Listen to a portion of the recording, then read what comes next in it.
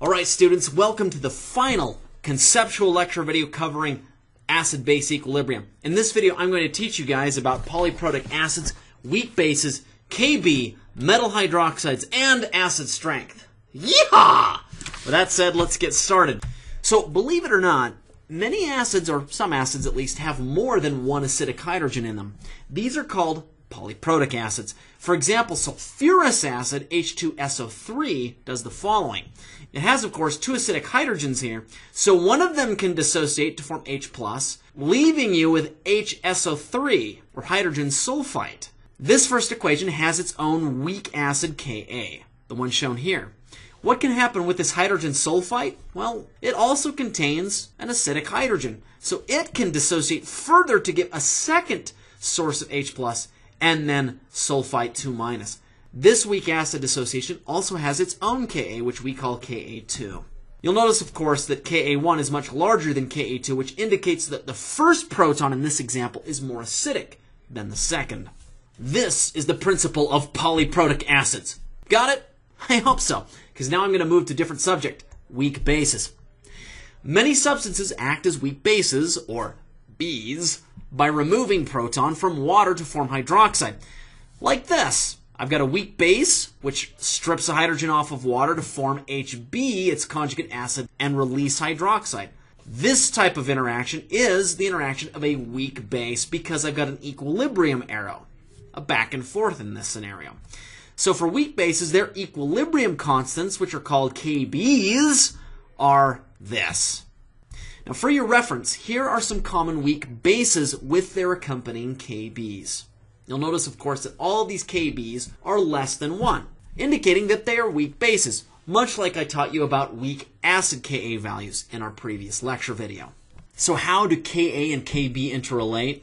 Well, as we discussed in an earlier lecture, Kw, which is the dissociation constant of water, which is constantly doing this in an equilibrium setting in real life, happens to be equal to the concentration of hydroxide multiplied by the concentration of hydronium. And numerically, it equals 1 times 10 to the negative 14th, at least at 25 degrees C, which is roughly a room temperature. Interestingly enough, Ka times Kb always equals Kw. So that's an important equation that you should remember or take note of for a problem I'll show you later on. Also, just as pH, whose equation is given here, helps us know how acidic a solution is, there exists something called pOH, which of course I've discussed in an earlier video as well, which helps us to determine how basic a solution is. pOH is given by negative log of the concentration of hydroxide.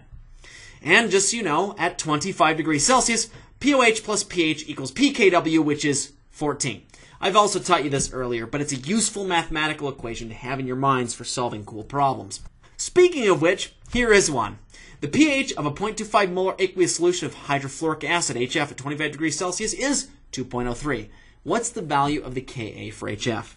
I invite you to attempt this on your own, and then if you wish, you can click on the link here, which will open a separate video in which I'll show you how to do this on the board. And now to another problem. Using the data in this table, which of the conjugate acids below is the strongest acid? Now, I'm not going to answer this for you, but I'll put a link here to a separate video in which I discuss this topic. I invite you to go and look at that and then come back and see if you can answer this question on your own. We now move on to discussing metal hydroxides. Now, incidentally, metals, which I'm abbreviating here as the letter M, often undergo redox reactions with water to form metal hydroxides like this. Now, just so you know, we did first talk about this back in chapter 4 last semester, to which I'll link right here, in case you want to review. Now, as it turns out, the less electronegative a metal, the more reactive it is with this kind of reaction. The reason is because less electronegative metals give up their electrons more easily. Remember, if you're more electronegative, you want to steal electrons. If you're less electronegative, you want to get rid of them. Hence, the further down and to the left on the periodic table, the more reactive a metal will be in this type of reaction. That takes us to a question. Which element least readily reacts with water at room temperature to form a metal hydroxide and hydrogen gas? Once again, it's going to be the metal that is the least electronegative. That is, the one that's furthest down and to the left on the periodic table. Now to another subject, determining acid strength. As I mentioned in an earlier lecture, The stronger an acid, the weaker its conjugate base. Why? Well, the reason is because the stronger the acid, the more stable its conjugate base. Two factors, then, influence how strong an acid is. First, the electronegativity of the atom stuck to the H+, and second, the size of the atom stuck to the H+. Why? Well, the answer is because the more electronegative an atom is, the more easily it can handle bearing a negative charge by itself. Hence, for any acid-base reaction, such as this one, the more stable A minus is, the more acidic HA is.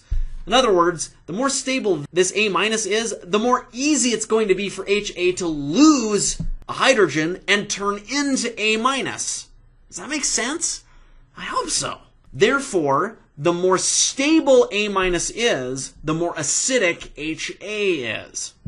A minus is made more stable if, one, it's more electronegative, and or two, it's big. Remember then, the more electronegative an element, the better or more easily it can handle a minus charge. Furthermore, the larger an element, the better it can handle a negative charge. Hopefully we're kind of wrapping our heads around that then. Because it brings us to this important series, where we can see the relative acidities of different substances. To keep this simple, I want you to focus on row 2. What we're trying to do is determine how acidic is something as I go from left to right on the periodic table. First, we have silicon attached to hydrogens. Are those hydrogens acidic? Well, it tells us that this compound is neither an acid or a base. So the answer is no. What if we go one more to the right to phosphorus? Phosphorus is more electronegative than silicon. Are the hydrogens stuck to phosphorus very acidic? Well, no, they're not. That tells us then that phosphorus's lone pair electrons are more likely to grab a hydrogen from something else, thereby making phosphorus a base, than these hydrogens are to be removed, which would make phosphorus an acid. Now, as we go to the right one more, we have sulfur. Sulfur is more electronegative than phosphorus, which means that it can suck electrons towards itself and handle the charge better than phosphorus. What do we notice about sulfur?